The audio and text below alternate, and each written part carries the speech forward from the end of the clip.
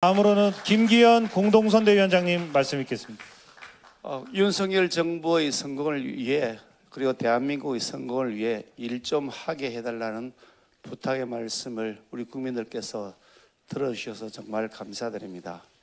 우리 윤석열 정부, 우리 국민의힘 정부는 무엇보다 통합의 정치, 국민 더 이상 국민을 분열시키지 않고 통합하는 정치를 펼쳐 나가면서 경제 살리고 민생을 가장 먼저 챙기고 국가의 안전 보장을 튼튼하게 하는 가장 성공적인 정부의 모델을 만들어내도록 할 것입니다.